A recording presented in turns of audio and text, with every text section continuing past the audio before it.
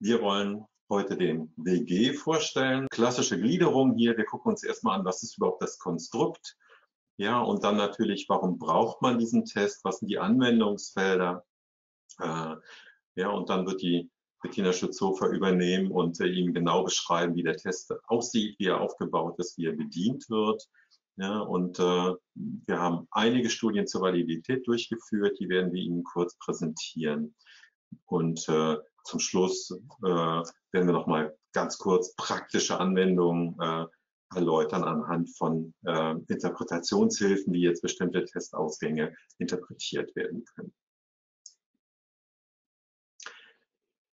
Ja, was macht der WG? Der WG, wie der Name schon sagt, erfasst die kognitive Fähigkeit, Wahrnehmungsgeschwindigkeit und eigentlich implizit auch die sensorische Fähigkeit des peripheren Sehens.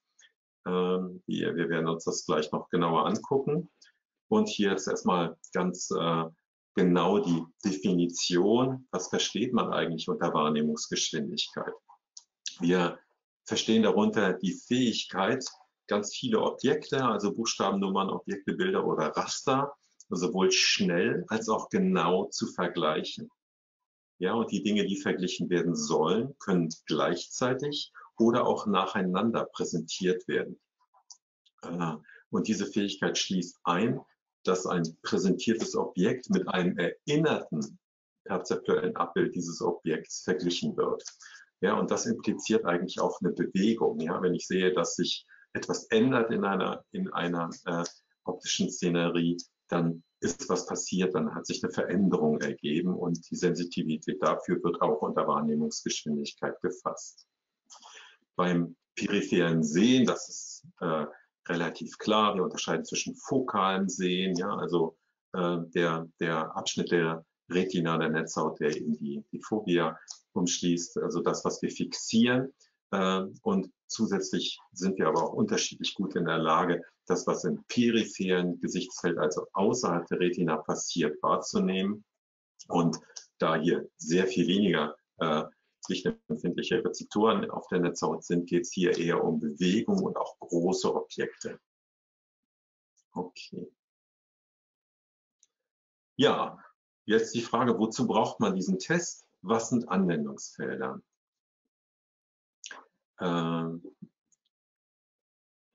und eigentlich sehen wir drei Anwendungsfelder. Tatsächlich entwickelt primär wurde der Test vor allem für die Verkehrspsychologie, wo klar ist, dass sich Kraftfahrer äh, einfach ein Bild machen müssen über das Verkehrsgeschehen, ja, worauf sie reagieren müssen, äh, wo sie äh, steuern müssen, wohin sie steuern müssen, etc. Äh, das ist, glaube ich, relativ klar und evident. Aber wir sehen auch Anwendungen im HR, äh, Human Resources Bereich, also so im Personalwesen für bestimmte äh, Aufgabenbereiche, wo eben diese Fähigkeit wichtig ist. Aber heute sprechen wir über den dritten Anwendungsbereich und der ist im Sport. Ja, warum im Sport? Äh, ganz klar, sportliche Aktivitäten basieren auf einem komplexen Zusammenspiel sowohl von Aufmerksamkeits- und Wahrnehmungsprozessen, die dann psychomotorische äh, äh, psychomotorisches Verhalten sozusagen ermöglichen, koordinieren, steuern etc. Ja, also das ist eine tatsächlich ein, spielen kognitive Fähigkeiten eine sehr große Rolle für den Sportbereich. Äh, und äh, es zeigt sich auch, dass sozusagen Spitzensportler, also Menschen, die sehr hohe Leistungen in ihrem jeweiligen Sport erbringen können, dass die auch deutlich überdurchschnittliche kognitive Fähigkeiten haben, die ihnen das ermöglichen. Es gibt zwei Paradigmen in dieser sportpsychologischen Forschung und, und Anwendung auch. Ja, das eine ist der äh, Expert Performance Approach. Also hier versucht man ganz spezifische Fähigkeiten jetzt für eine, eine äh, Sportart äh, wichtig und zentral sind, äh, sozusagen äh, da die Fähigkeiten zu ermitteln, zu messen etc ja, ich weiß nicht, ich denke da an einen Tennisaufschlag oder so, also ganz, ganz spezifische Dinge, die aber kritisch sind für eine spezifische Sportart. Äh, aber dann gibt es einen weiteren breiten Forschungsbereich, der sozusagen Sportarten unspezifische kognitive Teilfähigkeiten äh, versucht zu erfassen und zu diagnostizieren.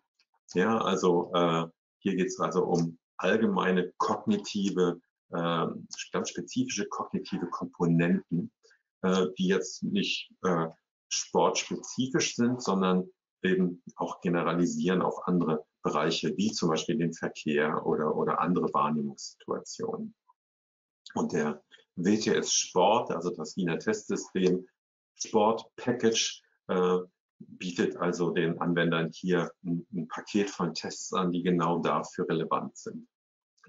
Ja, und äh, man weiß inzwischen, es gibt viel Evidenz dafür, dass sich äh, Spitzensportler und Amateursportler eben nicht nur hinsichtlich Muskelkraft und Ausdauer und solcher Dinge unterscheiden, sondern eben auch in grundlegenden kognitiven Fähigkeiten, die jeweils für äh, die bestimmte Sportart also kritisch sind, konstitutiv sind.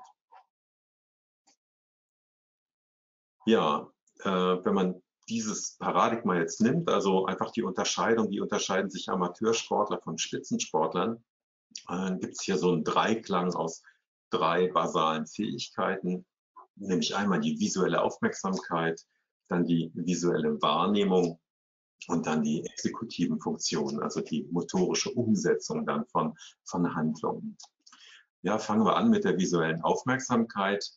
Äh, Sport, also viele Sportarten äh, äh, bieten sozusagen sehr komplexe und dynamische Situationen, äh, in denen Sportler präzise und schnell reagieren müssen ja, und auch ihre Aufmerksamkeit auf kritische Aspekte lenken.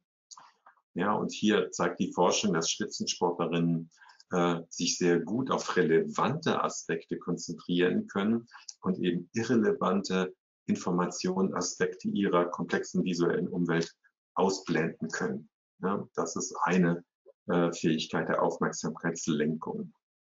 Dann äh, gibt es auch Unterschiede sowohl in der Flexibilität ja, der Aufmerksamkeitslenkung, also dass Spitzensportler schnell in der Lage sind, ein neues, neuen Event, ein neues Ereignis zu identifizieren und dann die Aufmerksamkeit darauf zu lenken, wenn das für ihre äh, Situation relevant ist. Ja, und auch der, äh, die, die Größe des Aufmerksamkeitsfokus variiert zwischen Profis und Amateuren.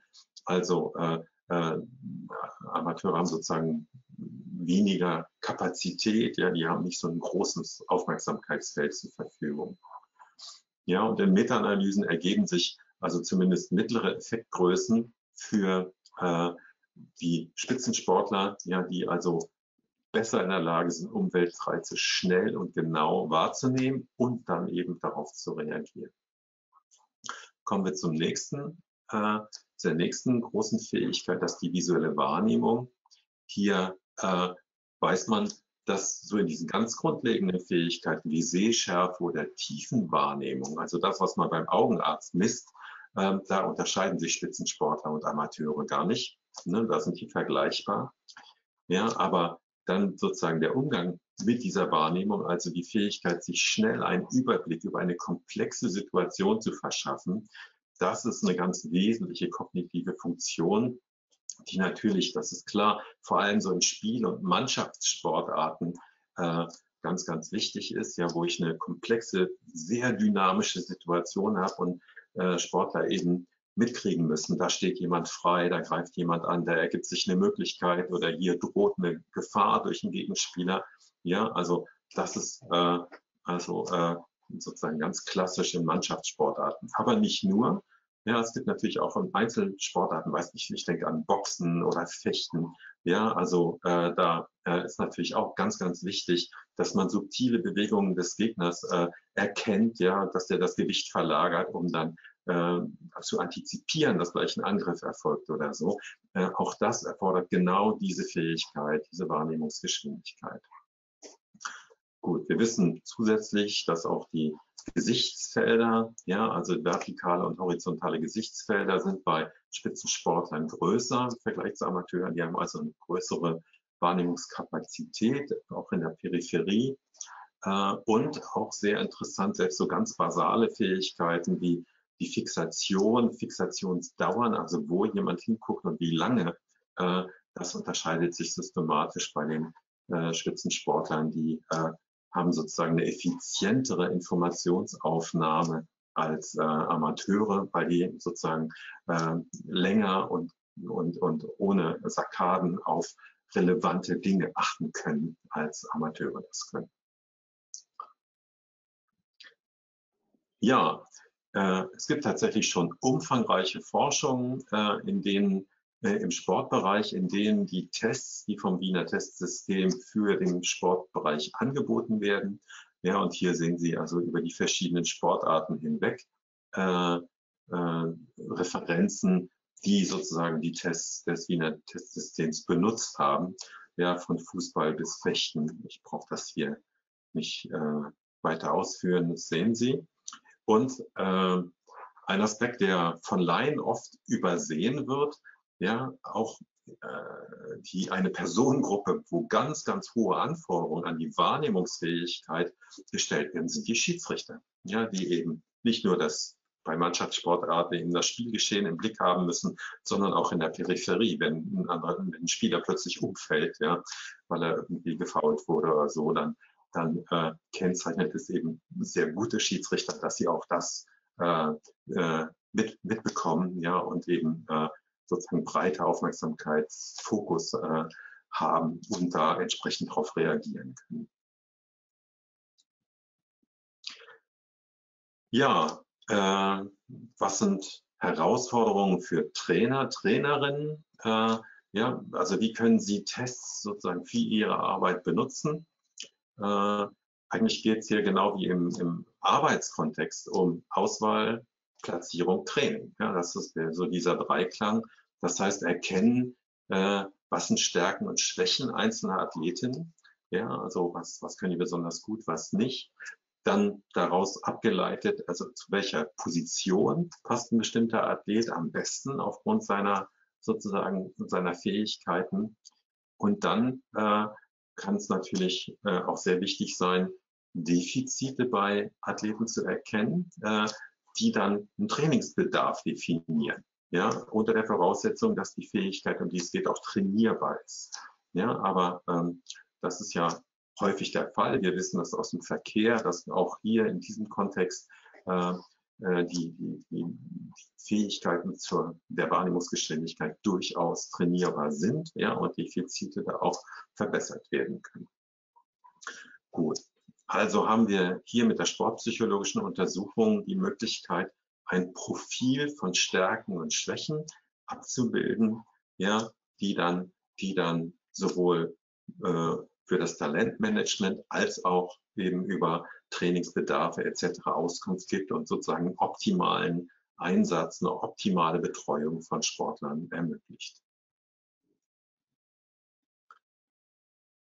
Gut, und daraus ergeben sich jetzt die Anwendungsbereiche für psychologische Tests insgesamt und hier den WG im Besonderen. Ja, also mit dieser Methode ist es möglich, Talente zu identifizieren, die also besondere Fähigkeiten haben in diesem Bereich.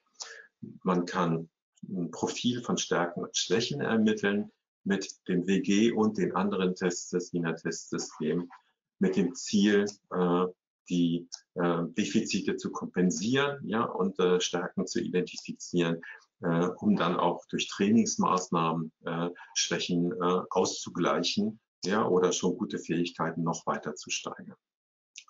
Ich denke, das ist jetzt ein Überblick über die theoretischen Grundlagen und jetzt übergebe ich an äh, die Bettina Schützhofer, die jetzt konkret äh, den WG darstellen wird. Dankeschön.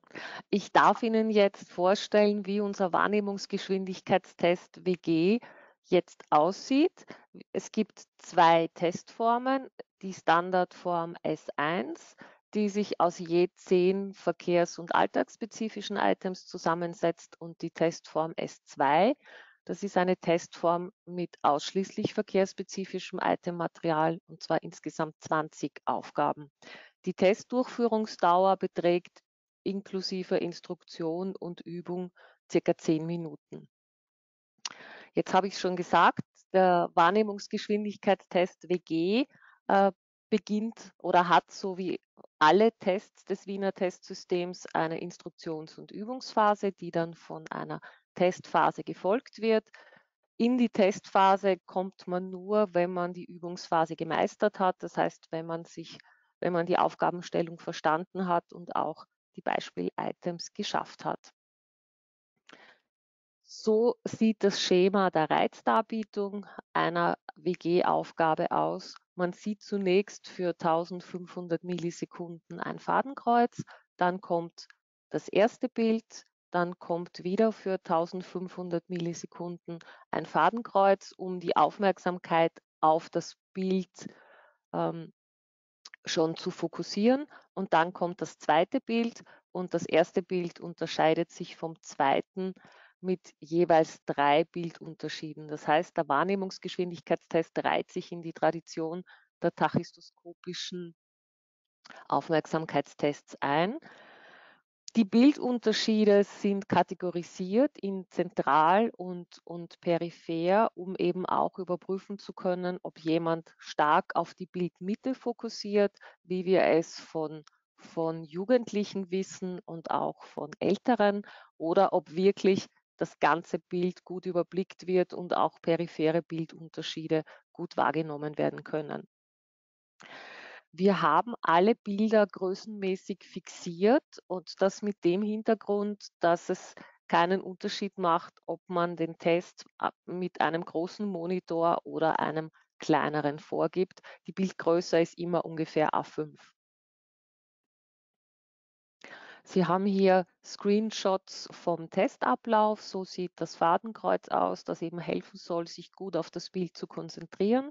Darbietungsdauer 1500 Millisekunden. Das wäre jetzt ein Beispielbild, ähm, das dann für eine Sekunde dargeboten wird. Dann kommt wieder das Fadenkreuz und dann kommt das zweite Bild, das sich vom ersten in drei Dingen unterscheidet. Hier sehen Sie das in der Gegenüberstellung. Es gibt eben zentrale und periphere Unterschiede. Das wäre jetzt ein Beispiel von einem Alltagsitem. Ähm, der Hintergrund, warum es Verkehrs- und Alltagsitems gibt, ist der, dass wir durch unsere Erfahrung im Verkehr mentale Skripts ausbilden, die uns helfen, dann im Verkehr schneller wahrnehmen zu können. Unsere Alltagsitems sind so unspezifisch, dass es sehr, sehr unwahrscheinlich ist, dass man dafür mentale Skripts ausbilden kann. Das heißt, wir messen die Wahrnehmungsgeschwindigkeit, die Fähigkeit zur Überblicksgewinnung somit ziemlich unter Anführungszeichen rein. Das wäre jetzt ein Beispiel von einer Frühstücksszene. Und hier ist ein weiteres Beispiel, wo drei Jugendliche an einer Kletterwand turnen. Also hier ist es sehr schwierig, kognitive Skripts dafür zu entwickeln. Wir haben schon einige Studien mit unserem Test durchführen können. Die erste war ähm, zur Selektion des Itemmaterials an einer Bonner Schule. Dann konnten wir eine umfangreiche Studie mit mehr als 300 Jugendlichen in Österreich im Vergleich Stadt-Land durchführen, um zu überprüfen, wie sich diese Fähigkeit von 11 bis 18 Jahren entwickelt und um auch die psychometrischen Testeigenschaften bestimmen zu können. Und dann haben wir ein, äh, hatten wir die Möglichkeit, eine prospektive Längsschnittstudie auch zur Bestimmung der Kriteriumsvalidität an sechs polytechnischen Schulen in Österreich durchführen zu können. Und da haben wir äh, mehr als 400 Schülerinnen testen können. Und dann ähm, wurde der WG im Rahmen der, einer anfallenden Stichprobe von Fahreignungsuntersuchungen vorgegeben. Wir haben die Probanden, die zu mir ins Institut gekommen sind, und die verkehrspsychologische Untersuchung gemacht haben, gefragt, ob sie für Studienzwecke einen weiteren Test machen. Und das hat uns die Möglichkeit gegeben, eben einen umfassenden Datensatz für konvergente und diskriminante Validitätsbestimmung zu erheben. Unsere repräsentative Normstichprobe wurde im Schufried-Testlabor erhoben und setzt sich aus 335 Personen zusammen. Einige dieser Studien sind auch bereits publiziert. Die Quellen sehen Sie hier und sie sind auch im Testmanual angegeben.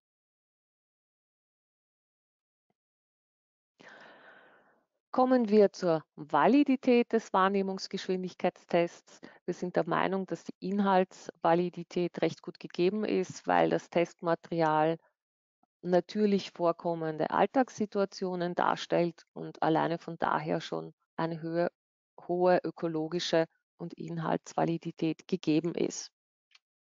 Zur Konstruktvalidität können wir berichten, dass der WG einen eigenen, ganz klar äh, abgrenzbaren Faktor ähm, Faktoren analytisch ergeben hat. Ähm, Professor Rainer Banse hat es vorher schon erwähnt. Der Test äh, wurde, an, ähm, wurde im Zuge der Entwicklung eines Fahreignungsmodells entwickelt und, und äh, produziert und da hat sich der WG als ganz klar eigener Faktor in unserer Studie mit den 330 Jugendlichen dargestellt. Wenn man sich den Entwicklungsverlauf der Wahrnehmungsgeschwindigkeit über die Lebensspanne ansieht, dann bekommt man auch ganz klare Hinweise für die Konstruktvalidität des Wahrnehmungsgeschwindigkeitstests. Sie sehen hier die gemittelten Profilverläufe der jugendlichen Normstichprobe und der erwachsenen Normstichprobe. Ähm, Sie sehen, die, die Linien geben, der Anzahl, geben die Anzahl der richtig gelösten Aufgaben wieder. Je höher die Linie, desto besser ist die Leistung. Was man hier sehr schön sieht, ist, dass die Alltagsitems, das ist die grüne Linie, deutlich schwieriger sind als die Verkehrsitems, was eben damit zu tun hat, dass es für die Alltagsitems kaum oder gar nicht möglich ist, kognitive Skripts zu entwickeln, während das im Laufe der Lebensspanne für die verkehrsspezifischen Items sehr gut funktioniert. Und die blaue Linie ist der Gesamtwert, der sich dann eben aus den alltags- und verkehrsspezifischen Items zusammensetzt. Was Sie hier sehr schön sehen, ist, dass es kaum eine Verbesserung der Wahrnehmungsgeschwindigkeit im Alter von 11 bis 15 Jahren gibt. Mit 15 gibt es dann eine deutliche Leistungssteigerung bis 18. Das Fähigkeitsniveau pendelt sich dann auf hohem Niveau ein und nimmt dann langsam ab, wobei die Abnahme ab, ab ähm, Anfang Mitte 40 dann recht deutlich wird. Das ist die schlechte Nachricht. Wenn es um Wahrnehmungsgeschwindigkeit geht, dann beginnt der Alterungsprozess schon sehr früh. Aber Übung hilft hier, Übung und Erfahrung helfen hier sehr stark, auch lange zu kompensieren. Was uns aber doch hier sehr überrascht hat, ist, dass, dass es erst ab 15 zu einer deutlichen Leistungsverbesserung kommt. Und ich denke, das kann auch für den, für den Sportbereich sehr hilfreich sein, weil man einfach weiß, okay, der kognitive Entwicklungssprung kommt hier erst relativ spät. Das deckt sich ganz gut mit der aktuellen Entwicklungspsychologie, wenn man sich Studien ansieht ähm, aus den 70er, 80er Jahren, wo in dem Bereich sehr viel geforscht wurde, dann sind die Altersgrenzen relativ niedrig. Je jünger die Forschung, desto weiter werden die Altersgrenzen heraufgesetzt. Und das hat sich eben auch bei unserer Studie gezeigt. Die passt sehr gut in, in das aktuelle Studienfeld. Hier sehen Sie die gemittelten Leistungsverläufe bei der Fähigkeit des peripheren Sehens. Analog zur Wahrnehmungsgeschwindigkeit sieht man auch hier, es gibt kaum eine Leistungsverbesserung von 11 bis 15 Jahren und erst ab 15 zeigt sich ein stetiger, deutlicher Leistungsanstieg. Und auch hier sieht man, dass die Leistung bereits im mittleren Erwachsenenalter wieder abfällt und im höheren Erwachsenenalter dann rapide abnimmt.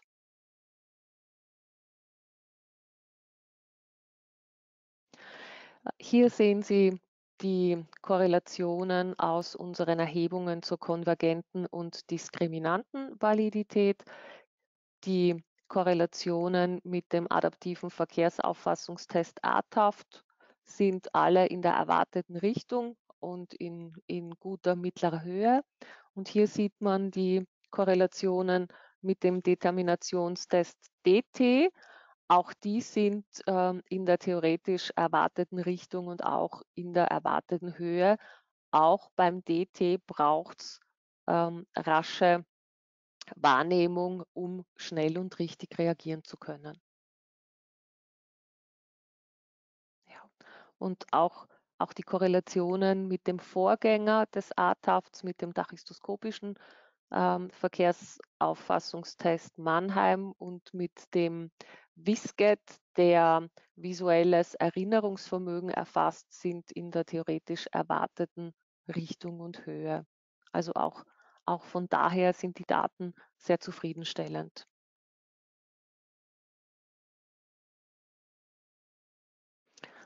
Schauen wir uns dann noch die Kriteriumsvalidität an. Hier war es eben möglich, die, die Personen, die zur Fahreignungsüberprüfung gekommen sind, auch nach ihrer Verkehrsvorgeschichte in den letzten Monaten zu fragen. Und es hat, hat uns sehr gefreut, dass, dass sich hier auch ähm, sehr gute Ergebnisse zeigen. Je schlechter jemand im Wahrnehmungsgeschwindigkeitstest abschneidet, desto mehr Verkehrsunfälle berichtet er. Wir sehen hier eine signifikante Korrelation und das Gleiche gilt für die Anzahl der Führerscheinenzüge.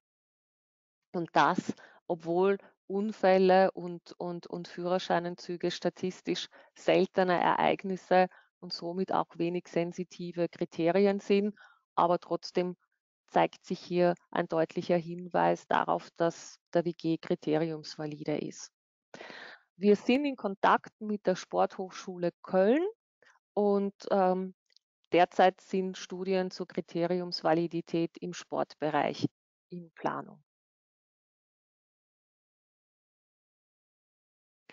Jetzt möchte ich Ihnen noch kurz die Testvariable vorstellen. Unsere Hauptvariable heißt Wahrnehmungsgeschwindigkeit und ein hoher Wert in dieser Variablen bedeutet, dass die Testperson komplexe Bilder schnell und auch genau erfassen und vergleichen kann. Sie kann sich somit sehr schnell einen Überblick vor allem über peripher angeordnete Bildelemente verschaffen und ein präsentiertes Bild mit einem erinnerten vergleichen und auch Unterschiede zwischen zwei Bildern erkennen und identifizieren.